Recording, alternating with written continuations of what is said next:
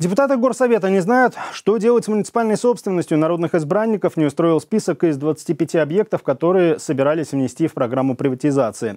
Нежилые, подвальные и производственные помещения давно не сдаются в аренду, потому что или коммерчески непривлекательны, или попросту находятся в разрушенном состоянии.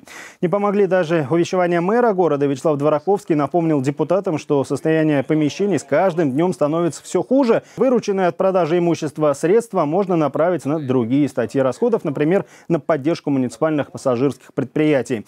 Но парламентарии к единому мнению так и не пришли, проект вернули в комитет для пересмотра. Та же участь постигла и другое решение. Народные избранники отказались конкретизировать свои расходы на депутатскую деятельность, а между прочим, этого требовала прокуратура.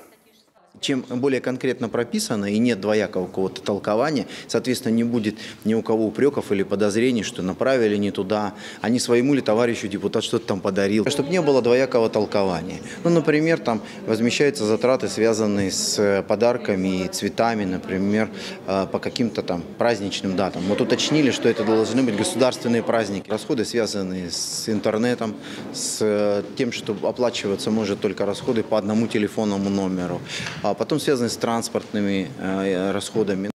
Кроме того, Департамент финансов Омска предложил увеличить финансирование КТОСов. На 76 комитетов территориального общественного самоуправления планировалось направить 44 миллиона рублей. Однако не все депутаты были согласны с увеличением расходов, учитывая, что прокуратура в своем протесте указала, что это неэффективное расходование бюджетных денег.